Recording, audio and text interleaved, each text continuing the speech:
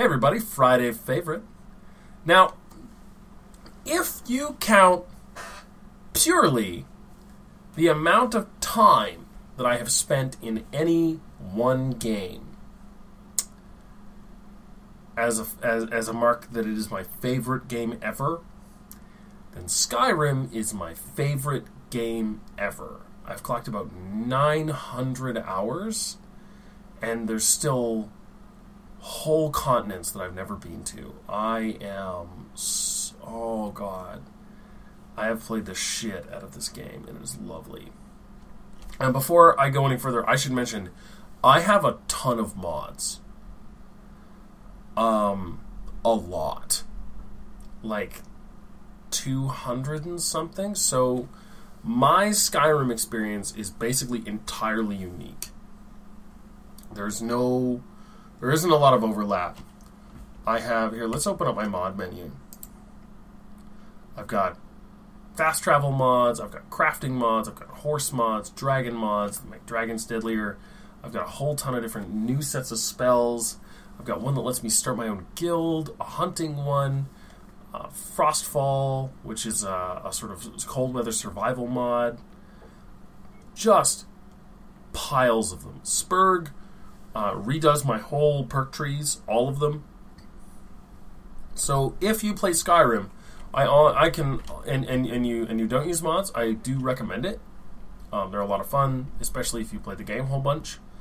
But also, just you take into account the fact that my Skyrim experience is going to be vastly different from yours uh, when I talk about it. Um, the fact that I'm still playing a game that came out like four years ago, longer? No, about four years ago. Maybe five. Yeah, five. Uh, all of the armor that I'm wearing is from mods. So are the swords. So are Marco's. Um, so is most of the stuff on these racks. Uh, this is my house.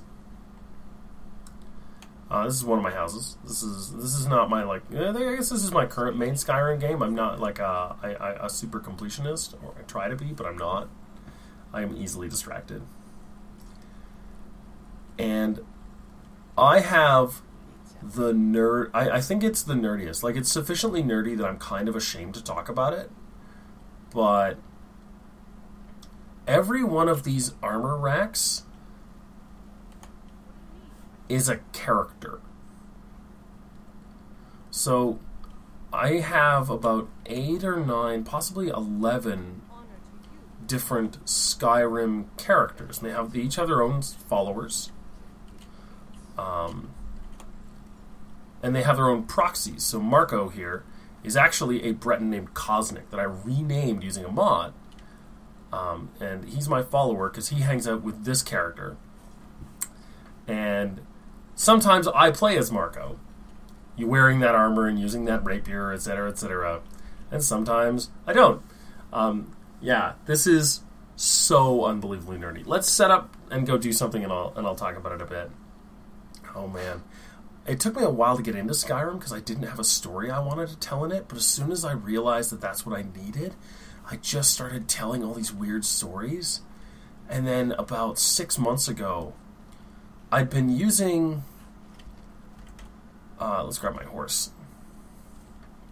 I'd been using the character editor to change my character. Where are we off to? We are off to Treva's Watch. How far is that? Yeah, let's ride. We'll encounter some neat things on the way. Uh, FYI, there may be some breaks in this video because um, one of the things that having a bunch of mods does is it can make your game more unstable. So keep that in mind. But no, but I, I've been using the character editor to age my character and sort of change his hair and you know just so he reflected the effects that I thought the world would have on him which is already, I think we can agree, super dorky. But then I, I thought, why not go a little farther? Why not reinvent my character entirely because one of the big problems I'd have is I would, you know, I'd finish a, a bunch of the main quest chains and I'd sort of lose focus because my character's story was over. You know, they had become who they were meant to be. Excuse me, sir. All right, fine. Let's, let me get off my horse for a second, and uh, we'll we'll we'll do this.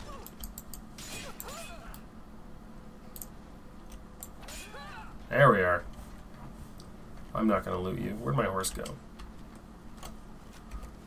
Let's throw up a healing spell. Clamber back on it. Let's get back on that horse. But yeah, why not why not reinvent my character entirely? Like, why not change everything about them? So I did. And it started with one character and then it went to two characters and then five characters and now I have I think 11 in one save game all with their own stories and their own relationships to the world and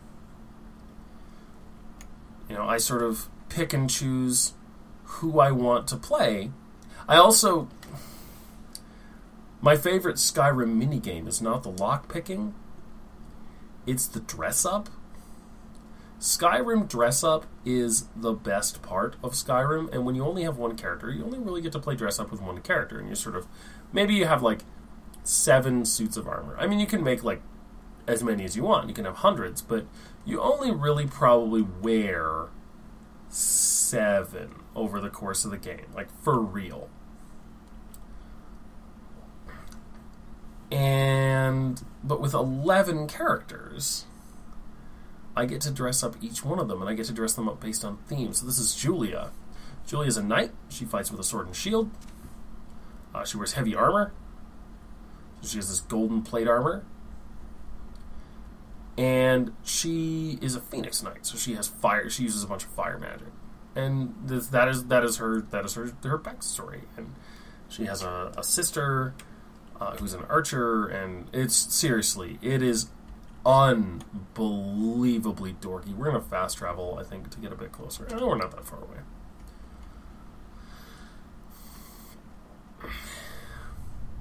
But and I love that like the game is gorgeous. I have a bunch of mods that are also changing the nature of the game. Like the the appearance and everything like that. I'm actually gonna turn off my buff spells. Give me one second. Yeah, I have a lot of spell mods that give me new spells.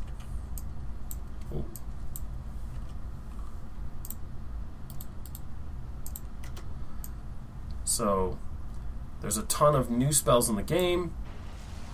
There's uh, I have one a set of spells that level up. It's it's nuts. Uh, I'm not even going to start doing mod spotlights. You can find a ton of them on, on Skyrim Nexus and, and things like that. There are a ton of. I'll, I will link to some channels that do mod spotlights because uh, there's a bunch of those.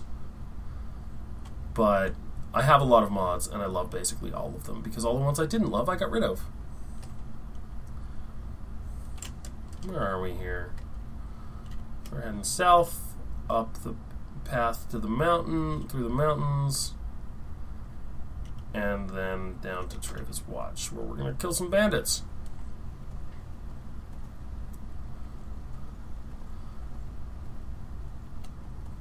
You get this big expansive world with these huge vistas. So I should point something out that the other game that is like this. I mean, it also it also hits my it hits my fancy on, on being able to build things.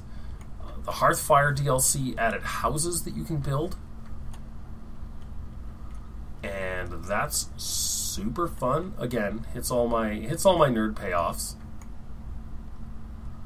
There's just all kinds of stuff you can do. Oh, Darkwater Pass. I'm not going here. We're actually gonna.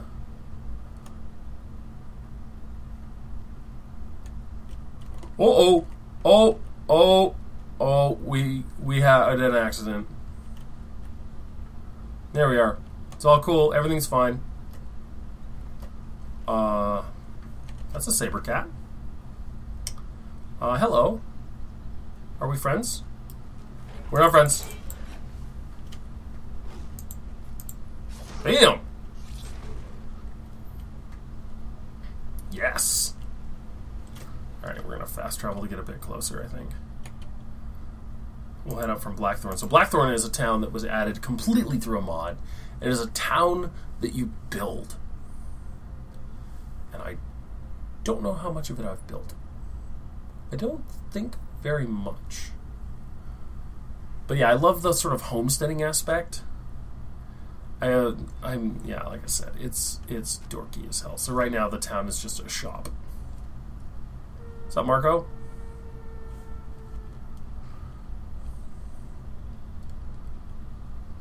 Who are you? You look suspicious.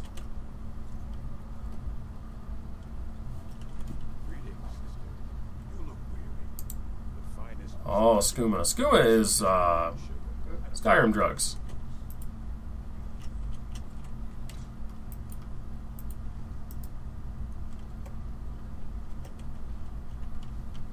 We're about to have an accident. Get my sword out. I don't like drug dealers near my town. I will leave you here as an example to all other drug dealers. Bye. Seriously, dude, go kill some bandits or something. I mean, you thought you could fight me, so think you can fight some bandits. I believe in you. Probably.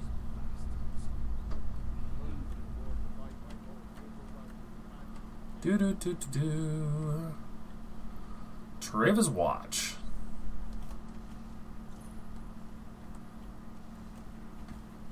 Hey nerds, let me in.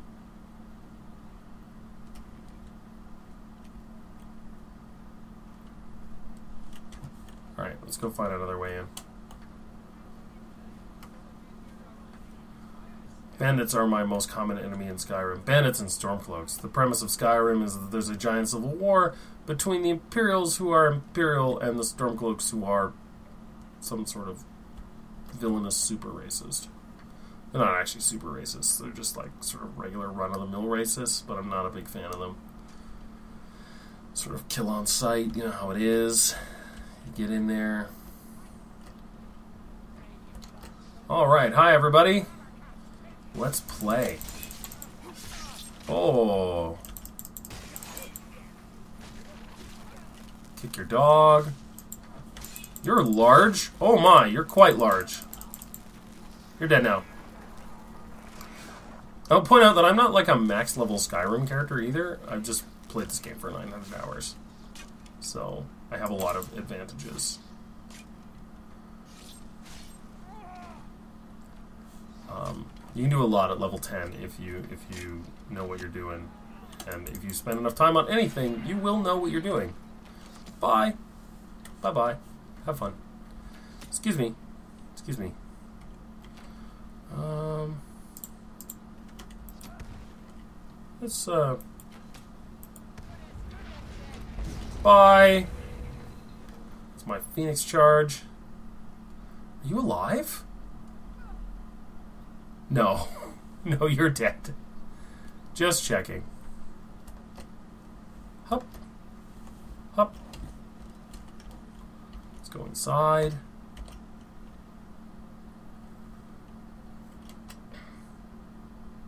Seriously, I can wander through this game and kill bandits and complete storylines all day. And like I said, there are mods. I have there are mods that in like like uh, Falk, not Falkreath, um, Falskaar and Wyrmstooth and elsewhere that add entire continents. Like, it is bonkers. Hello? Excuse me.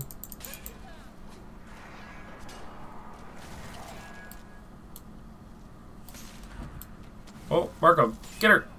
Get her! I believe in you. Boom! Jump you through the chest, yes. Yeah, it's also just vigorously violent, which is kind of fun to play. You could be a fantasy hero or a fantasy villain. Though I've never really done the steal everything, murder everybody build. It just doesn't seem like a fun way to for me to play the game. I typically don't steal anything.